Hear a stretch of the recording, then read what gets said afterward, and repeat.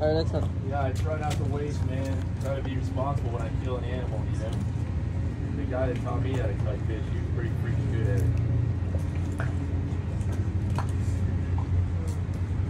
Come on.